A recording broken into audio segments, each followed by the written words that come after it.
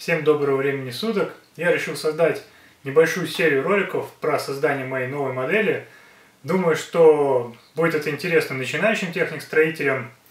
И сегодня я начну свое повествование о постройке советского роторного экскаватора R1250.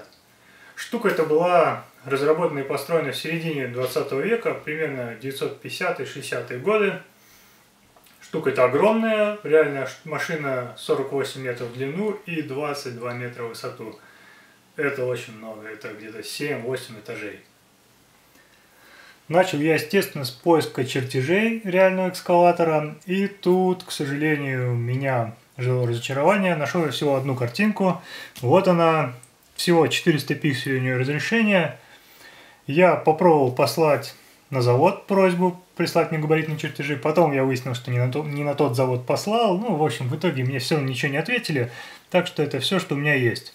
Основные размеры здесь даны. Дальше еще дополнительные размеры я мерил линейкой.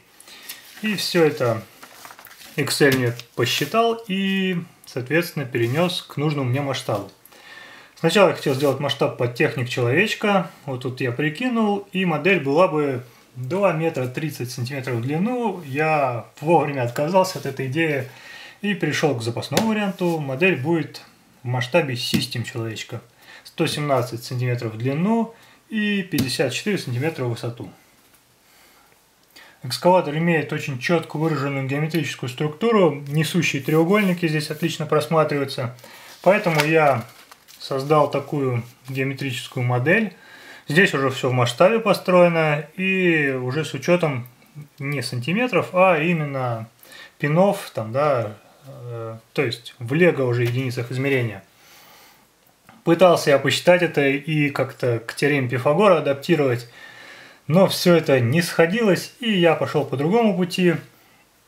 Я сделал сразу экземпляр реальный. Вот такой вот получился у меня макет. Здесь есть неправильные треугольники, что-то с большим напряжением соединено. Но нормально все это работает, поэтому за основу я и возьму эту конструкцию и дальше уже буду объемную версию делать.